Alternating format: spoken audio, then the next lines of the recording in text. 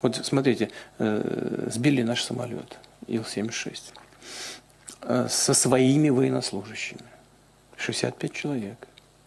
Мы э, не просто же туда их подвозили, а Главное управление разведки ВСУ знали о том, что мы туда и везем военнослужащих. 65 человек. А все запланировано было, по-моему, 190. И зная об этом, нанесли удар по этому самолету. Я не знаю, специально они сделали это или, э, или по, э,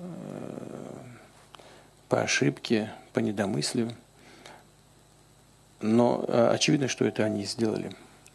Во-первых, потому что были зафиксированы пуски двух ракет с территории подконтрольных, подконтрольных киевскому режиму в 11 часов 10 минут.